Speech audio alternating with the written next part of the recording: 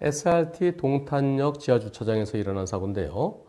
지하주차장에 들어가서 천천히 가다가 맞은편에 차가 안 와요.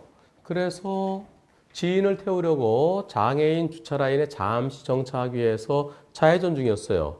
근데 뒤, 내 뒤 뒤에 오던 차가 역직으로 빵 때린 사고입니다. 어떤 사고인지 보시겠습니다. 어, 이런 사고 과연 불박차한테 잘못이 있을까요? 어떤지 한번 보시죠. 자, 지하 주차장으로 들어갑니다. 전방 영상에서요. 네, 전방 영상 보시고 좀 있으면 후방 영상도 이어질 겁니다. 여기에서 앞차를 따라서 천천히 가요. 네, 지하 주차장 들어가고요. 지하 주차장 들어가고 맞은편에는 지금 투웨이입니다. 원웨이가 아니라 투웨이예요. 맞은편에 차들 오죠? 네, 블록차 쭉 갑니다. 가고 맞은편 차들 나오고 블록차 가고 아, 네, 계속 맞은편에 이제 차가 안 오네요. 그래서 왼쪽에 잠시 차를 좀 세우려고 그러는 겁니다. 누구 태우려고요. 맞은편 저 차 지나간 다음에 이제 차가 안 오죠? 차가 안 와서 왼쪽 공간. 저 근데 뒤에 보세요. 이제 뒤에 뒤에 뒤에 여기요. 파란 라인으로 들어가려고 그래서 뒤에 차 차 내죠. 후방 영상에 후방 영상에 저 차가 저 차가 저 차가 그거든요. 어디 있다 이런 이런 이런 아이고 다시 여기에서요. 나 잘 가고 있었습니다. 요 후방 영상이요. 내 뒤에 차도 잘 따라오고 있는데 여기서 뒤뒤 오는 차가 이 차가 이 차가 앞에 가는 차가 천천히 가니까 좀 빨리 가려고 그런 것 같아요.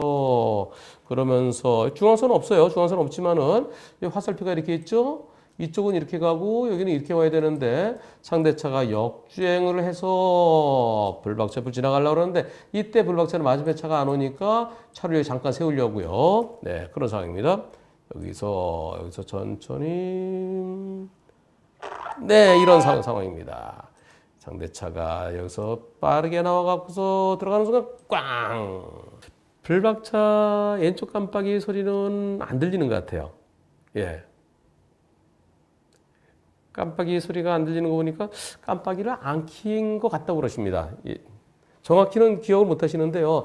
어, 깜빡이 소리가 안 들리는 걸 봐서 제가 안 켠, 안킨 것 같네요. 네, 네. 그렇다면 깜빡이 안 킨 거죠, 저래서요. 자, 불박차가 불박차 가고 있고, 뒤에 차 천천히 따라오고 있고, 내가 왼쪽 공간한테 맞은편 차가 안에서 대려고 그러는데, 뒤에서 역주행으로 빵! 불박차 잘못 있습니까? 없습니까? 이 사고에 대해서 상대편 보험사는요, 상대편 보험사에서 주장하는 거는 70대 30을 주장한답니다. 상대편 보험사는 70대 30을 주장하고요. 그리고 불박차 보험사는 90대 10을 주장한답니다. 불박차 운전자는 100대 0을 주장하고요. 자, 그러면 불박차에게 잘못이 있나요, 없나요? 불박차에 잘못이 있다 그러면 불박차, 불박차 보험사에서 말하는 90대 10, 상대가 70대 30, 꼭 그 중간 정도를 생각할 수 있겠죠. 불박차에게 깜빡이 안 켜고 왼쪽으로 들어간 거, 불박차한테 잘못 있다, 없다.